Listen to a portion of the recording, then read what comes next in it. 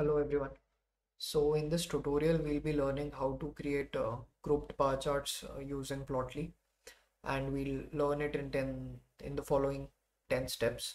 So initially let's uh, import the libraries. We'll be using two libraries here. One is Plotly which is used to create the charts and the second one is uh, pandas which we'll use to declare the data frame.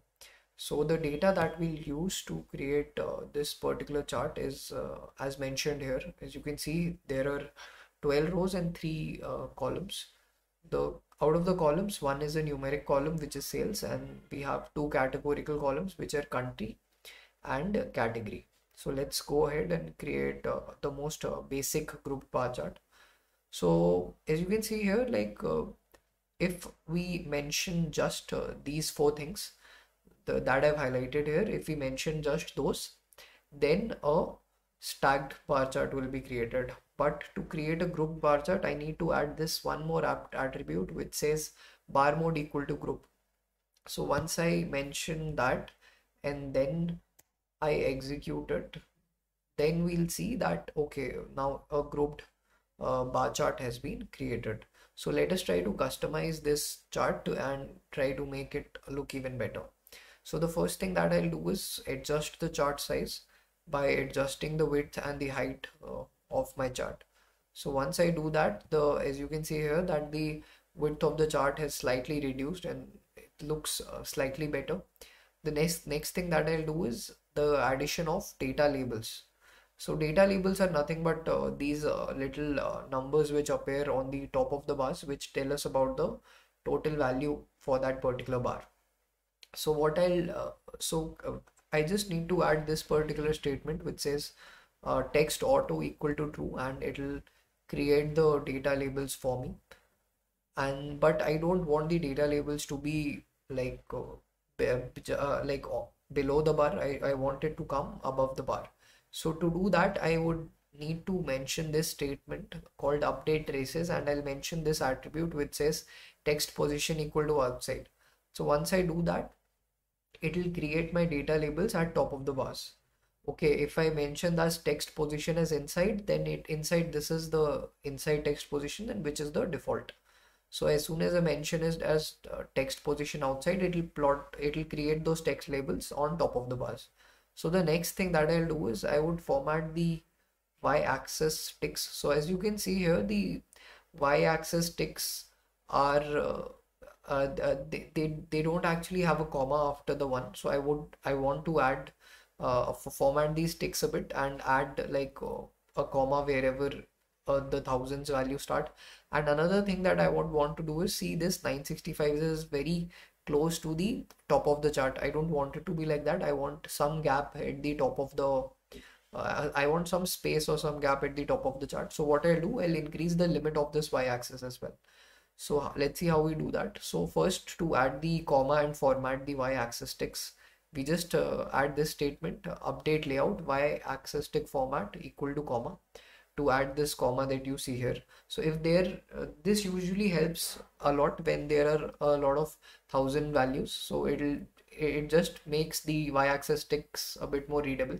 And the second thing that I've done is for the y-axis, I've provided this thing called range which will so earlier the range was somewhere around uh, 1020 or 30 but I've increased the range to uh, 1150 so as you can see like there's a gap that has been created here. So now we have a good gap at the top of the chart.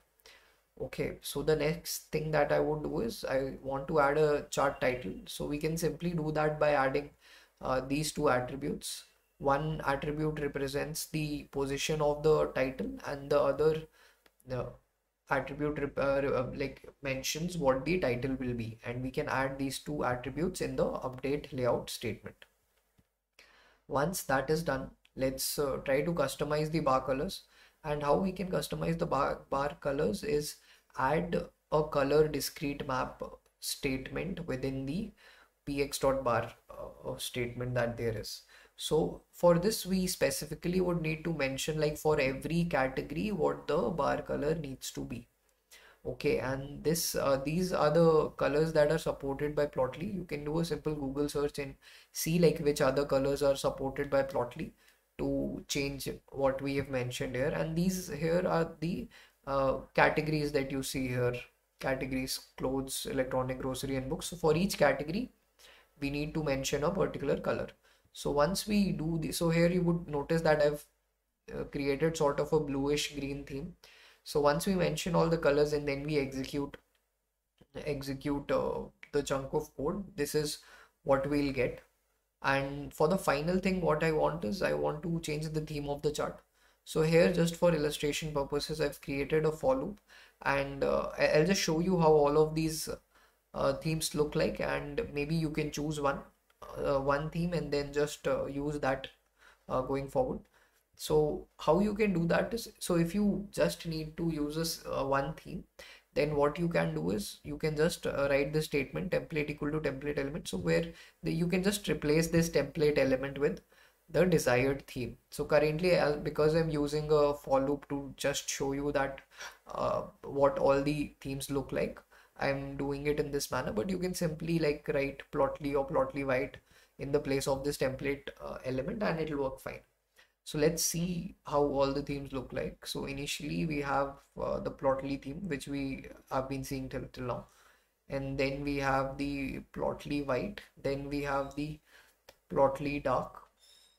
Then we have the GG plot theme. Then we have the Seaborn. Then we have Simply White where uh, there are no grid lines mentioned. And finally we have the None theme which just has a horizontal bar uh, present. So currently I think I'll go with the none theme because it's uh, the most uh, appealing and most simple theme uh, which looks like so th that will be all for this tutorial everyone thank you for watching